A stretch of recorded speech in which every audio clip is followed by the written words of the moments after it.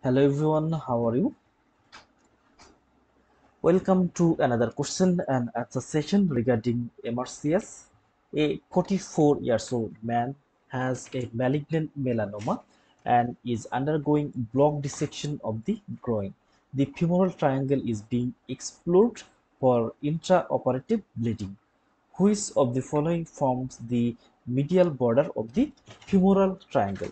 So in this question, the key point is the medial border of the femoral triangle. It is formed by which of the structure?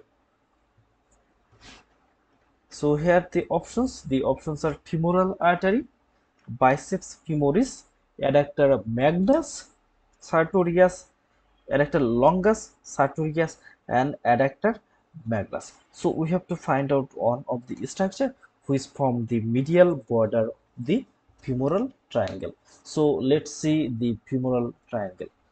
So in this picture, we can see this area, this is the femoral triangle. It ex extends from here to here the medial border of the sartorius and medial border of the adductor longus. So here we can see there is the medial border medially it is bounded by adductor longus laterally by the sartorius and base or upper part by the inguinal ligament.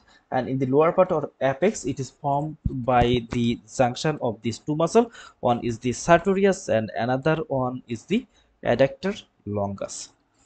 So here it is the boundary of the femoral triangle medially by the adductor longus medial border of the adductor longus laterally it is by the medial border of the sartorius base or upper part. It is formed by the inguinal ligament and apex or lower part. It is formed by union of the sartorius muscle and adductor longus muscle. And here we can see the content of the femoral triangle.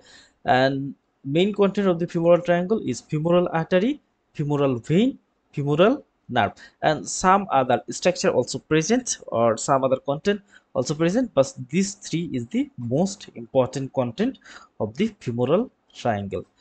So this is uh, the boundary of the femoral triangle. Again the medial border by the adductor longus then here we can see the base or upper part by the inguinal ligament lateral boundary by medial border of the sartorius this muscle is the sartorius muscle and apex is formed by junction of these two muscle so here our answer is ready that the adductor longus muscle the adductor longus muscle it forms the medial border of the femoral triangle. And here we can see this some other content such as we saw three important content femoral artery femoral vein and femoral nerve.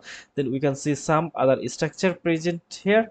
That the superficial and deep inguinal group of the lymph node.